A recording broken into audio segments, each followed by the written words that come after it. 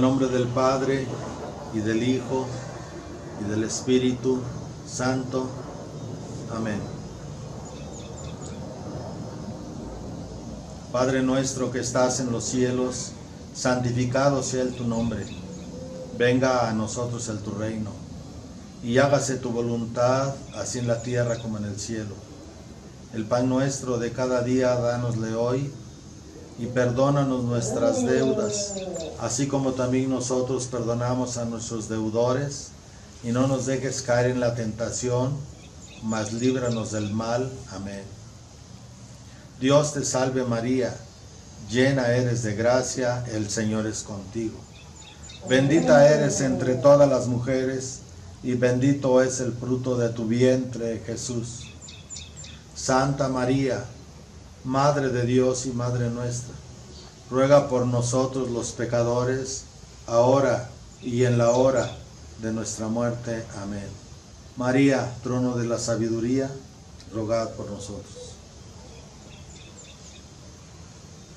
Hay una ejaculatoria que les quiero enseñar, muy hermosa, que nos enseñó la Virgen allá en Nueva Jerusalén. María, María, María, en cada instante y momento, sé tú la defensa del alma. María, María, María, en cada instante y momento, sé tú la defensa del alma mía. María, María, María, en cada instante y momento, sé tú la defensa del alma mía. Santa María del Rosario, la misionera de Dios, la nueva Jerusalén, el Edén que ella formó. La nueva Jerusalén, el Edén que ella formó. Al final, ella encuentra a los que el Padre Celestial le tenía elegidos para esta obra de la Nueva Jerusalén. Voy a empezar con la historia, la narración de la historia tal como tal como la narró doña Gavina Romero. Hubo muchas veces que ella narró las apariciones. Nunca se contradijo, pero todos debemos de entender que hay partes que a veces aparecen en una narración, a veces hay pedacitos que que no aparecen. Pero voy a, voy a, esto está tomado de, un, de una grabación que se le hizo a Doña Gavina. Las apariciones de la Santísima Virgen María del Rosario comenzaron a partir de la segunda semana del mes de junio de 1973, para ser exacto miércoles, cuando una mañana cayó una tormenta furiosa aquí en Puruarán. En este contorno un arroyo iba muy crecido, sumamente crecido. Allí donde la Virgen se empezó a manifestar para ella, hay un arroyo que se llama el arroyo de los Otates.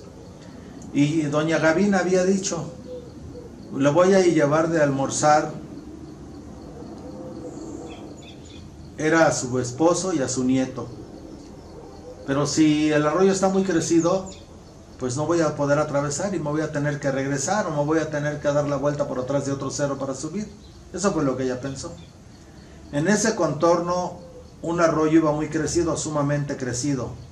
Entonces, al llegar dentro de las 11, entre las 10 y las 11 del día, tenía yo que ir a llevar los alimentos a un nietecito mío al campo. Ese nieto se llama José, todavía vive. Cuando yo pasé por ese lugar cubierto de hierba donde estaban dos cruces, allí en el lugar donde la Virgen le habló la primera vez, allí por ese, ese lugar, hay dos cruces de unos, que había, de unos hombres que habían sido matados por gente del ejército años antes y que a doña Gavina le había tocado allí entre el monte estar viendo cuando los mataron y no había podido hacer nada. Cuando yo pasé por este lugar cubierto de hierba donde estaban dos cruces, que habían matado hacía poco tiempo unos señores, pasando yo por este lugar tan sólido, oí una voz que me dijo, detente mujer.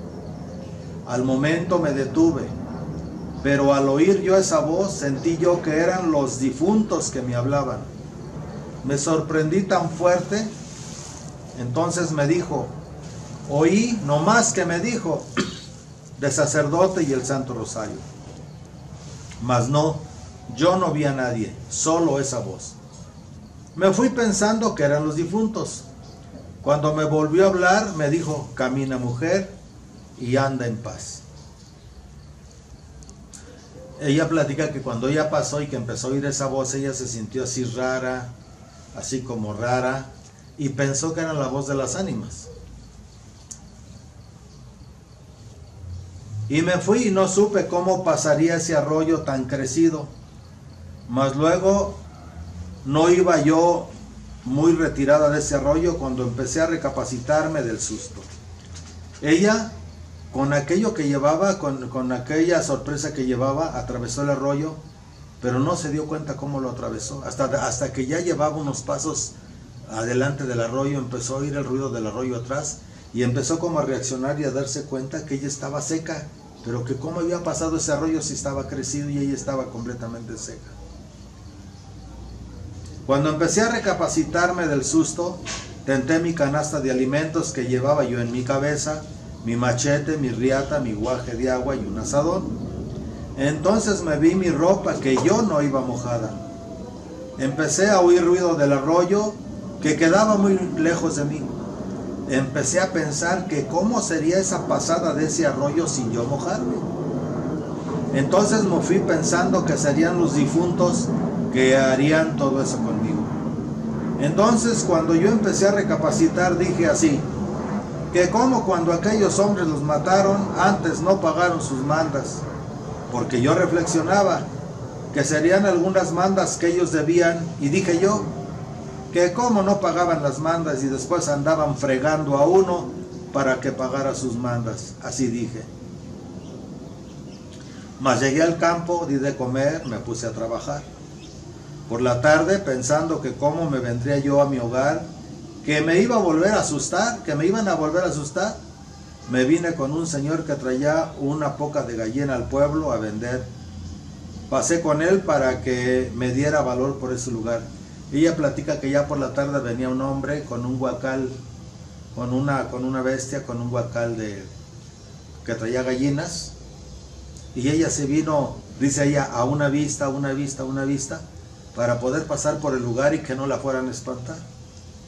Al día siguiente me fui por detrás de un cerro, entre ellos unos callejones de cañaveral. Entonces salí muy arriba al camino y saliendo a ese camino está ahí un llano que en este tiempo se dan muchas flores de distintas. Están unas que les los nombramos nosotros aquí popotitos, con unas mazorquitas rosas. En ese manchoncito, en un árbol llamado caulote, en una sombra, entonces vi de una persona como vestida de azul. Pero yo no me fijé porque iba caminando. Pensaba que eran familias que en ese tiempo recogen frutas que se llaman changungas. Changungas ahí se dicen a los nanches. Cuando menos acordé, vi de una señora parada por la vereda donde yo iba caminando, muy hermosa. Me sorprendí. Entonces me habla y me dice, tú huyéndome y yo siguiéndote. Le contesté, señora, no hice su mandado porque me preguntó, ¿verdad que no hiciste lo que te mandé ayer?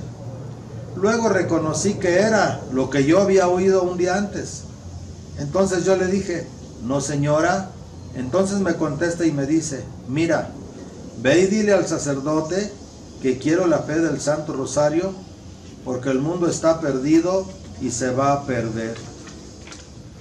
Al ver a aquella persona junto a mí que estaba tan hermosa, y como nunca había visto yo una mujer, una persona semejante a ella, me sorprendí. Entonces me dijo, camina mujer. Fíjense bien que en esta que es la primera aparición y la segunda vez que le habla, hay un misterio. Porque en los posteriores mensajes, cuando ya mamá Salomé está establecida en la Nueva Jerusalén con el sacerdote y la Virgen le habla de manera cotidiana, la Virgen nos va descubriendo que en ese día hubo muchas cosas que pasaron entre ellas. Ese fue el día en que doña Gavina le prometió ser fiel a la Virgen hasta la muerte. Y por lo que dicen los mensajes y algún comentario que mamá Salomé me hizo algunas preguntas que yo le hice ahí en su momento. Pasaron muchas cosas, no fue cosa de un ratito. Hablaron de muchas cosas. Bueno, ya sabemos que cuando son estas manifestaciones, el tiempo y el espacio se desdoblan y aunque en el mundo físico pueda haber pasado un momento, en los mundos espirituales las cosas no son así. Me fui y di de comer, me puse a trabajar. Enseguida regresé por el mismo lugar porque ya comprendí que no era espanto, ya sabía lo que era. Entonces ya se regresó allá por donde estaba el arroyo porque ya sabía que no eran los muertos los que le hablaban. Al tercer día ya pasé por este lugar por donde ella me hablaba y cada que pasaba la encontraba sentada en una piedrita, que es la que se halla ahora sirviendo de pie en su altar. En su tiempo, hablándoles del remanente que queda fiel a la Santísima Virgen, mamá Salomé, al que es ahora Monseñor Santiago el Mayor, cuando él en 1975 con su familia se fue a vivir al lugar de las apariciones, en un momento dado, mamá Salomé o doña Gavina le pidió a Monseñor Santiago el Mayor, Miguel Chávez en su, en su, su nombre civil, que plantara un árbol, que sembrara un árbol que después se puso muy frondoso. En el lugar donde estaba la piedra, que era donde la Virgen se sentaba a platicar con ella. Que después cuando un poco más arriba, unos metros más arriba, se hizo la ermita, una casita, un cuadrito como de como de 5 por 4, como de más o menos así o de 6 por o de 6 por 5, no recuerdo las medidas de la donde está la casita de la Virgen hasta la fecha. Abajo de su altar la Virgen tiene la piedra donde se sentaba que es como la piedra fundamental. Ahora vamos a ver de, esta parte de la historia en adelante, hay algo importante cuando la gente va a Nueva Jerusalén y va a Nueva Jerusalén y encuentra una piedra que está debajo del altar. Abajo del altar mayor tridentino hay una roca, hay una piedra que es donde la Virgen se sentaba a hablar con doña Gavina, con mamá Salomé. Al tercer día ya pasé por este lugar por donde ella me hablaba y cada que pasaba la encontraba sentada en una piedrita, que es la que se halla ahora sirviendo de pie en su altar. Entonces en ese árbol llamado Guasimita, ahí pasaba yo todos los días por el camino al campo y ahí la veía yo sentada en la piedra. Momento se paraba o se hincaba al pie de la Guasimita y cuando menos acordaba estaba en medio del camino para, para decirme que fuera a decirle al sacerdote que quería la fe del Santo Rosario. Así duré durante la segunda semana de junio de 73 hasta agosto de la primera razón, porque ya no me hallaba útil de darle estas razones. Entonces cuando se cumplieron los cuatro días que pasaba yo por aquí, porque yo tenía que pasar de procesión día a día, porque andábamos en los beneficios de la milpa, entonces le decía yo que no podía yo hacerle ese mandado, porque yo era una mujer que solo yo no me entendía. Yo no era muy asido a la iglesia, yo solo la devoción del Santo Rosario tenía. Me preguntó que por qué no iba yo a misa. Le contesté que no iba yo a misa porque desde una vez que fui yo a misa durante unos 15 días, una vez que me había tardado en ir al templo, unas de las sanfranciscanas me dijeron así, que antes no había temblado el templo porque yo porque me habían visto a mí. Y entonces yo pensé, no había misa para mí ya, porque no se condenaran por mí misma y me estuvieran juzgando. Y entonces ella me contesta y dice, Siempre tienes que irle a decir al sacerdote que quiero la fe del Santo Rosario, porque el mundo está perdido y se va a perder. Eso me platicaba todos los días desde la segunda semana de junio hasta el 23 de agosto, que ya no puede soportar el secreto, que ya no pude soportar el secreto. Entonces, para el 23 de agosto, después de platicar día a día y desobedecerla yo en su mandato? Entonces se me perdió cuatro días y cuando yo no la veía durante esos cuatro días, sentí la tristeza al pasar por ese lugar y no verla. Ella dice que sentía tristeza, angustia y desesperación, la extrañaba mucho en esos cuatro días que dejó de aparecerse. A los cuatro días me la encontré de vuelta en la guasimita. Entonces yo le dije, señora, ¿en dónde estaba? Que yo no la había visto. Y me contesta y me dice, mira mujer, si yo te dijera te volverías loca. Le dije yo, ¿por qué señora?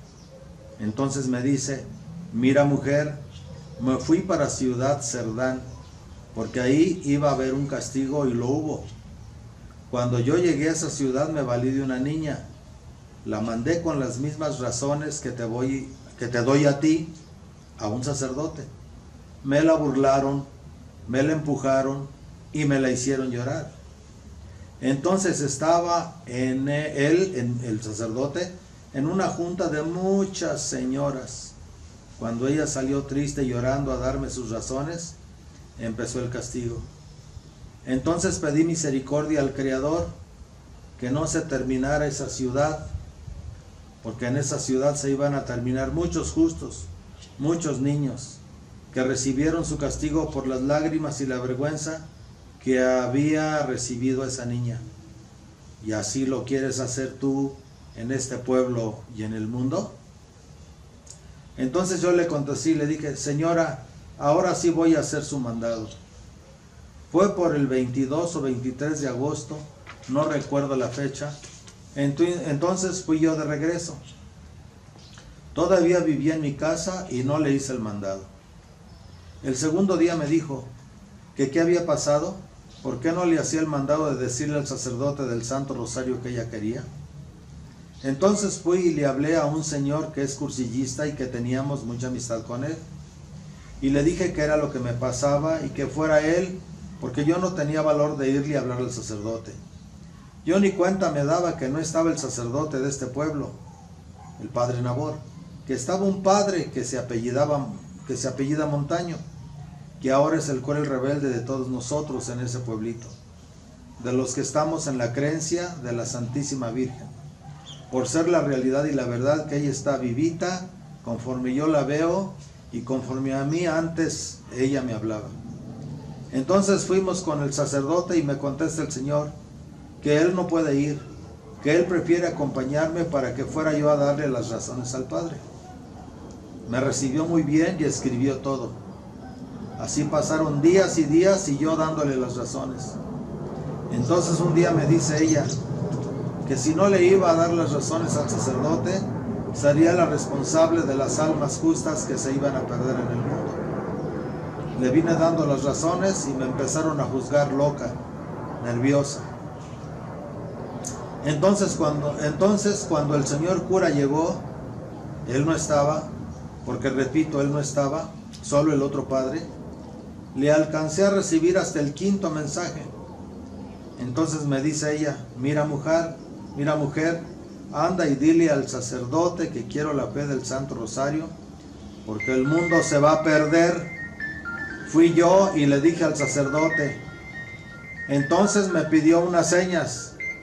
Le dije yo, Señora, el sacerdote me está pidiendo unas señales. Me contesta el sacerdote pidiéndote señales y yo tras de ustedes. No son señas las que le voy a mandar. Son tres razones que traigo de mi hijo para terminar el mundo si no hay el Santo Rosario. Entonces me dijo, mira, Dile al sacerdote que mañana se las mando. Así me trajo tres días. A los tres días le volví a decir, señora, yo por eso no quería hacer su mandado, porque el sacerdote me está exigiendo las señas y usted no me las da.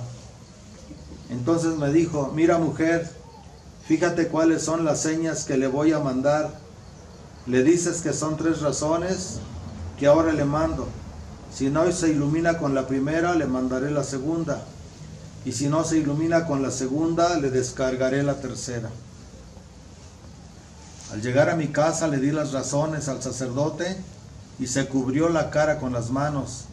Y entonces me responde así, le dices mañana que ya no exijo razones, que con eso es bastante, que jamás nunca volveré a exigir señas, con eso es bastante.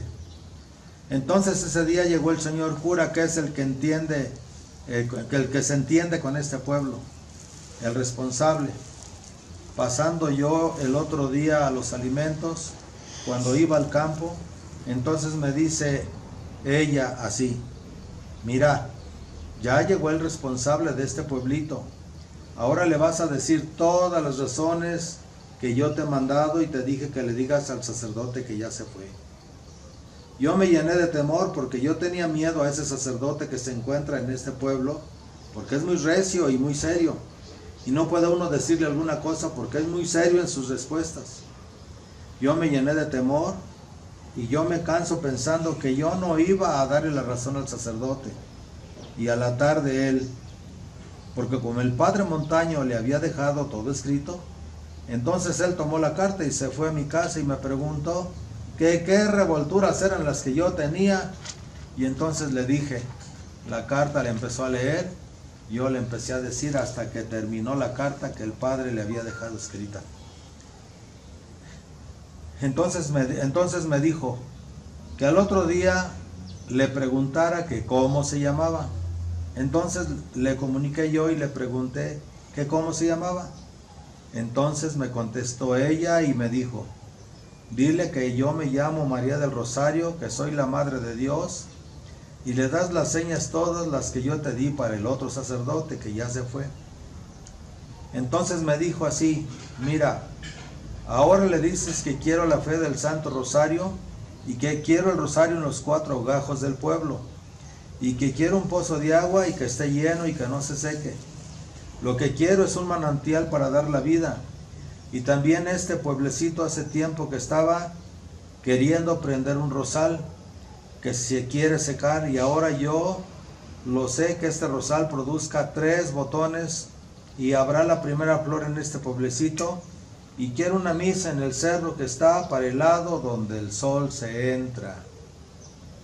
Entonces cuando el señor cura, cuando tomó la primera razón, me preguntó y me dice, mira mujer, mañana le preguntas en cuál cerro quiere la misa.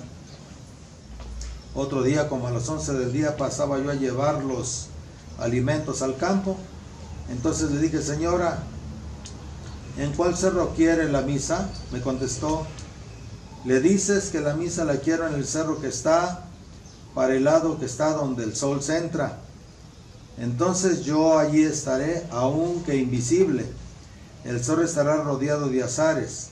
Se purificará una lluvia para el primer milagro del Señor. Entonces le dirás que el cerro va a estar repleto, repito, lleno de azares. Por si ve llover, le cambiará el nombre al cerro.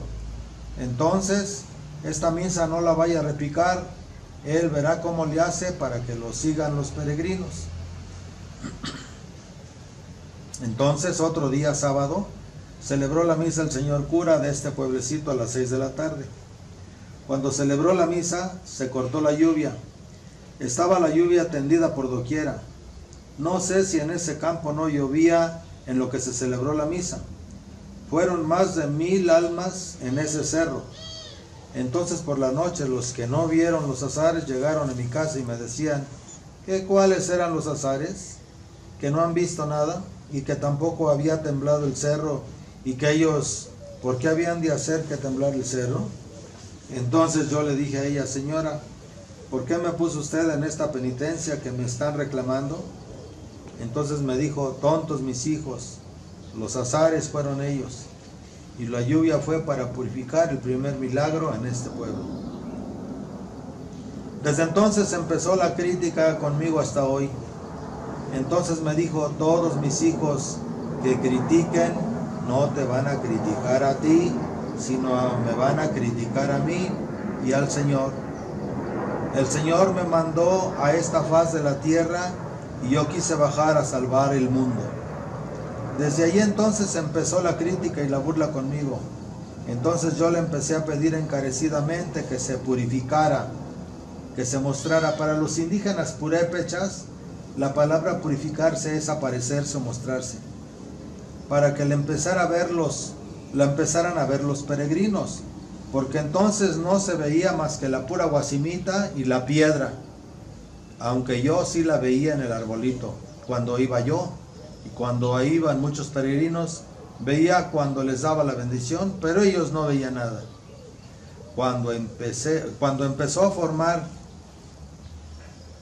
y que todos sus peregrinos le hicieron su ermita, empezó a purificarse en la pared. Cuando empezó la construcción de la capillita que le hicieron, y en la pared donde después está el cuadro, se empezaba a dejar ver la Virgen ahí en la pared. Le veían claramente y veían luces y veían rayas que se purificaban en la ermita. Entonces empezaron a decir que querían verla. Entonces le rogué mucho que se, que se purificara para que se calmaran algo las críticas que estaban sobre mí. Entonces el 6 de octubre me dijo la Virgen que le llevara un lienzo allá en el árbol donde yo lo había visto en realidad. No tenía, porque entonces le contesté y le dije, señora, no tengo ni un quinto para comprar yo la tela que usted me pide. El, lienzo, ve a tu casa y busca y lo hallarás. La Virgen le dijo, ve y busca entre tus cosas y encontrarás lo que te pido. Tenía yo un retazo de una camisa de mi esposo nuevecita. No hice más que tomar ese retacito y se lo llevé. Entonces me contesta ella así, que en el regazo que yo, que yo usaba en el campo, que en el rebozo que yo usaba en el campo, allí envolviera yo este lienzo.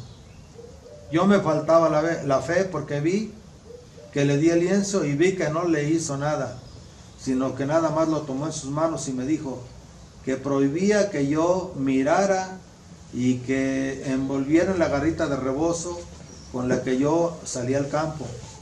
Y el 7 de octubre tenía que presentarlo a las 12 del día ese lienzo en mi garrita de rebozo. Y que tenía yo que ir a la multitud de gente en su ermita, a donde ahora se halla su ermita, y ahí tenía yo que presentarles ese lienzo sobre la garrita de mi rebozo. Recuerden que esta es narración de ella. Ella me platicó que agarró el lienzo a la Virgen así y lo volteó y luego se lo dio, envuélvelo en tu rebozo. Y le pidió la misa del día siguiente. Ese día me faltaba a mí la fe porque creía, yo había visto yo lo que yo llevaba en ese lienzo. Yo me imaginaba que presentar ese lienzo llena de vergüenza en la garrita de rebozo con mi sombrero que yo acostumbraba llevar al campo, mi guaja y mi canasta. Así me mandó ella que tenía que presentarme en esa hora a las 12 del día. Cuando yo al ver la multitud de más de diez mil almas en ese campo, yo no sabiendo qué era lo que llevaba, ni qué era lo que iba a presentar, le dije, a la que ahora sirvió de perturbación para todos los peregrinos, que iba a ser yo, entonces ella me dijo que no perdiera la fe y me fui entonces. Ella me permitió que viera en, en todos los demonios palpablemente conforme son y me dijo, es la hora que me tienes que ayudar a defender el mundo.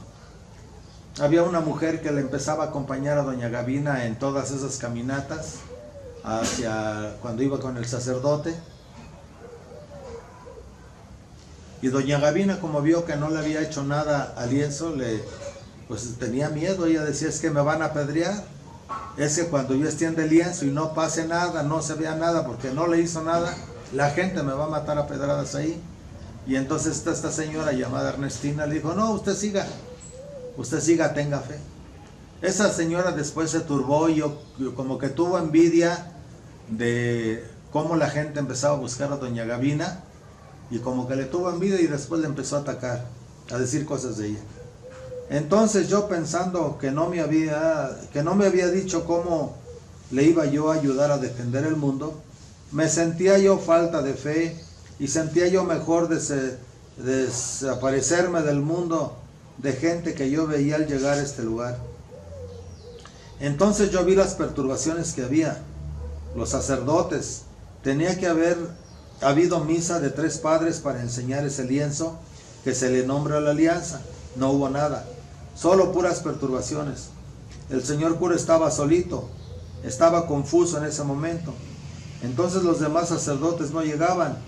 Se descompuso el micrófono, se cayó el entamblado y muchas visiones que se vieron en esa hora. Entonces yo estaba esperando que los sacerdotes, como ella había mandado en el mensaje a ellos, que tenían que lavarse las manos con el agua del guajito que yo cargaba en el campo, para recibir la alianza que iba a presentar y me tenían que dar la comunión de este modo, nada. Todos se llenaron de perturbaciones. No tuve más que marcarme los tres minutos y extendí yo temerosa el rebozo. Y al descender el rebozo ya era un rebozo nuevo, ya no era el que yo traía en el campo. Yo sin saber que tenía lienzo, porque lo, lo tapaba el rebozo. Estaba confusa, estaba temerosa, que no sabía. Se extendió el lienzo y muchas personas lo vieron que al extenderlo el lienzo se purificó la Santísima Virgen en la alianza. Sucedió esto. Hagan de cuenta que este cuaderno del mensaje es el rebozo y doña Gavina tenía el lienzo así. Entonces cuando ella extendió el rebozo y lo agarró así, el lienzo quedó por delante, el rebozo por atrás, por el lado de ella, y ella, pensando que la iban a apedrear, alzó las manos y no vio lo que estaba sucediendo. La gente fue la que vio lo que estaba sucediendo, del cual les van a poner en este video una, una, les van a poner en este video algunas, algunos testimonios, no son todos, pero vamos a poner eh, ahora algunos de los principales testimonios para que vean lo que sucedió. ¿Cómo? En redondo, nosotros en, cuanto lo subió así, lo, se dibujó la Virgen. Ya cuando dio la vuelta, ya la, ya la Virgen iba pintada. Allí o sea, usted la vieron que cuando extendió el lienzo se dibujó sí, rápido. Cuando lo extendió no tenía nada. Estaba blanco, blanco. Perfecto, perfecto. Entonces, al tiempo que lo subió hasta acá, luego lo hizo así. El padre se dejó caer de rodillas entre las piedras llorando y pidiendo perdón. El padre Navarro. Por eso, pues, ¿cómo va a creer? ¿Cómo no va a creer? Era lo que yo les decía. Yo discutí incluso con los padres, causa eso. Y les dije, miren, el padre Nabor me casó. Estuvo en ah, pero porque siempre le, le, bañaron de que era por negocio, que porque era para hacerse ricos, que así habían hecho muchos padres. Le dije, pues, no es por eso. Les dije, entonces, ya sabes que discutí con un padre de Urapita, acá.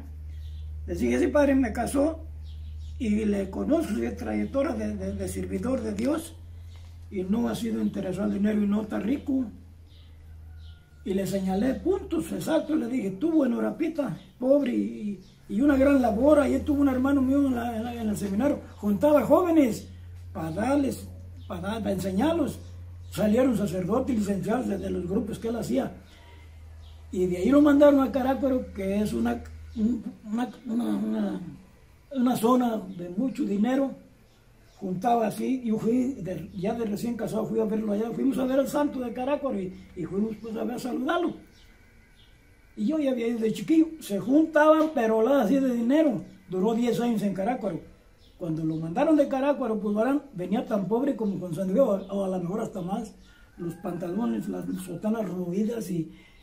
¿Cómo estaba la riqueza? Pues, ¿cómo lo iba a hacer por, por hacerse ahí rico? Nada, ¿no? Bueno, entonces, a partir de ahí, ya toda la gente que sí creyó, pues iba a misa, pero lo peor es pues que harta no vio estando ahí no vio. Eso es, algo raro. Si giró la señora como le habían ordenado y con el lienzo así la vi y, y harta gente no lo vio. No, no tenía nada de lienzo, no le vi nada, yo decía. Allí hay algo, hay algo que, que, que, que cuando hay un evento así y, si no va del corazón y no tiene fe, pues no va a haber nada. Incluso, y sin embargo ahí está el lienzo. Incluso se, en ese momento que sucedió eso, yo sentí que hasta la tierra tembló, era, era, era así no había perros ahí huyaban los perros, yo no sé salieron. O sea, algo, algo, algo, algo duro, algo, algo pesado. Y a partir de ahí, ya nosotros, los vistitos de, de, la, de allá de, de, la, de allá cámara, aquí llenaban de boletines. Todo el que vaya a la ermita está descomulgado y, y está condenado ya, que nos condenaron en vida, así los obispos. Y luego, pues como bajaba mucha gente, en caravanas venían, no sé cómo se dieron cuenta tan pronto que hartos, carros venían, se llegaron a, juntar 200 autobuses. ¿Cómo cree que se haya puesto ahí? Ahora, todo fue providencial porque estaba tan horrible el campo. Los que se, los que se empezaron a quedar ahí, ya imagínense cómo, cómo se empezaron a quedar, porque prontito se armó, pues, en tantito hicieron, hicieron una, algo para celebrar ahí ya, ya, diario. Don Samuel Santoyo, el de la injertada, que ya murió, me tocó, fue, yo fui el que le celebré la misa en Puruarán, ahora que murió don Samuel Santoyo, doña él fue el que empezó a chaponear el día que hicieron la junta, dijo, pues órale, y él agarró y se sacó el machete y a chaponear para abrir las, para, para los cimientos de la casita. Pero sí, pero él sí, pero sí creía él. Sí, sí, sí creía, don Samuel Santoyo, sí. Ah, bueno, pues entonces pues era, era algo, algo... Misa del 73. Um, de que cómo, cómo, estuvo la misa, que era en una tarima. Eh, la mesa estaba en una tarima, todo humilde. Eh, cuando la consagración, ah, hubo unos pleitos de perros que no sabemos de dónde salieron, perros negros. Eh, la gente no hallaba cómo separarlos. Estaban en, bolas grandes y no, no había cómo separarlos. Y la consagración y los perros ladrando, peleando. Eh, un, ¿cómo se dice? Al padre dio su explicación larga y había mucha calor. No había ninguna casa ni nada, era puros árboles. ¿Había muchísima gente? Oh, había mucha gente, sí, había mucha gente, estaba lleno. Todo esta Sí, este pedazo ahí. Dicen que desde el puerto hasta estaba lleno, había gente, sí. La consagración y fue cuando se acabó la misa, y después fue cuando ella ya de traía, mamá Salomé estaba junto al, a la mesa de la consagración hincada.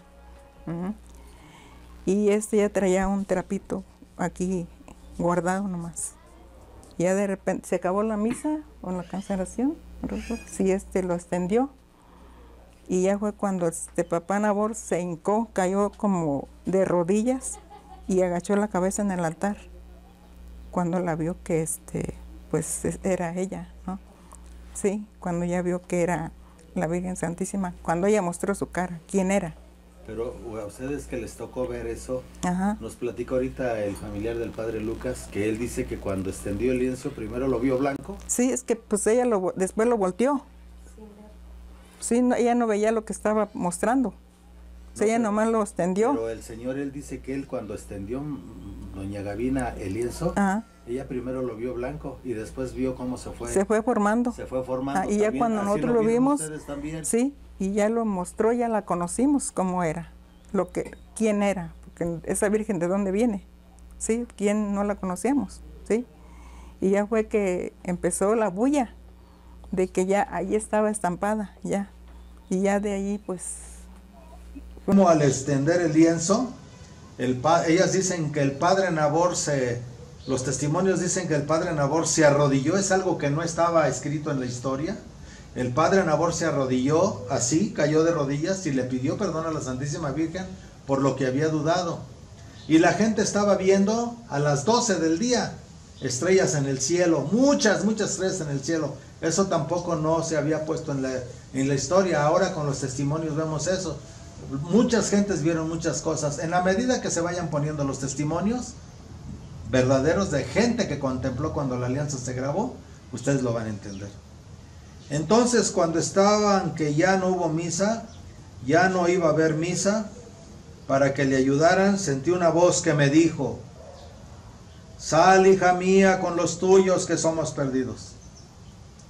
La Virgen, ella oyó Doña Gavina oyó la voz de la Madre Santísima que le dijo, angustiada, pero mamá Salomé me platicó que la oyó angustiada, llorando, como desesperada la Santísima Virgen. Sal, hija mía, con los tuyos que somos perdidos. Pero al momento se me vino a mi mente decirle, Señora, ¿y sus hijos? ¿Qué no son sus hijos? Y empecé a cantar el Santo Dios. Y todos empezaron a llorar y a gritar y a rezar y empezó el viento fresco. Y fue cuando ella extendió el lienzo. Porque la gente empezó a verla. Unos veían como luces que caían sobre el lienzo, otros veían como pinturas que se, que se recorrían en el lienzo. Muchas cosas que la gente que vio la manifestación. Ella no veía nada y estaba así, ella pensaba que la iban a apedrear. Y se remediaron todas las cosas y llegaron los sacerdotes y empezaron a celebrar la misa a las 2 de la tarde. Entonces salió el demonio junto de mí, me trastornó mi canasta, o sea, me, me lo tiró en mi guajito y corrió para un cerro que está frente de mí. Eran como las 2 de la tarde cuando me arrimé a darle a la Santísima Virgen que venía como envuelta en el rebozo y tomando yo en mis brazos ese liencecillo, toda la gente veía que era un niño. O sea, cuando doña Gavina volvió a, doblar el lienzo con el rebozo, la gente veía como si se movía como si trajera un bebé. Niño el que llevaba envuelto en el rebozo, porque se movió conforme hubiera sido un niño. Entonces los sacerdotes que no hallaban qué hacer, se lavaron siempre las manos allá en el altar con agua de mi guajito. Al entregársela, la tomaron, la pusieron en una urna, en una cajita de madera y la llevaron al pueblo. Entonces luego el padre Montaño, que ahora es el rebelde de ella y de Cristo, entonces tomaron la urna y él me decía que al tiempo de tomar la urna se le dio la recargada a su estómago, como si hubiera recargado una cosa muy dura, muy rigurosa, como si hubiera llevado una cosa, un niño dentro de la urna. Entonces se la llevaron al pueblo y ahí permaneció. Cuando la trajeron, que fue en noviembre, entonces fue cuando ahí la tuvieron largo tiempo, ahora se encuentra en la ermita. Hasta aquí la, narración de mamá Salomé sobre las apariciones. Este, este quinto video va a tener, tiene algunos testimonios, no todos, estamos, seguimos investigando pero lo que no queremos es perder tiempo que ustedes conozcan esto. Vuelvo a repetirles, amados hermanos, hay muchos videos de Nueva Jerusalén, unos a favor, otros en contra, unos perversos, pero les está hablando una persona que ha sido, que puede dar testimonio y quizá en algunos puntos, como en el punto de los falsos videntes, que han tratado de llegar y destruir la ermita, yo puedo dar testimonio, sobre todo de la primera falsa vidente que llegó a destruir, que llegó a meter cizaña a la Nueva Jerusalén, la famosa Arcadia Bautista o María de Jesús, yo puedo dar testimonio personal de que no era una verdadera vidente, aunque muchos la apoyaron. Por favor sigan viendo estos videos y esto es en apoyo a que ustedes entiendan que dentro de la Nueva Jerusalén hay un remanente de fieles hay un remanente de gente que se mantiene fiel. Y ya vemos muchos afuera, sacerdotes, monjitas y peregrinos que estamos en apoyo del obispo Santiago el Mayor, que es el que está sosteniendo este remanente. Él se ha mantenido fiel a la visión, a la, enseñanza, a los mensajes de la Santísima Virgen María y a la doctrina de la iglesia de 20 siglos. Y hemos visto claramente cómo las profecías de la Santísima Virgen sobre el mundo y sobre la Nueva Jerusalén se han ido cumpliendo paso a paso. Y en muchos casos profecías individuales dadas a algunos de nosotros, personales, para nuestras vidas se han ido cumpliendo paso a paso. Muchas gracias, Dios me los bendiga.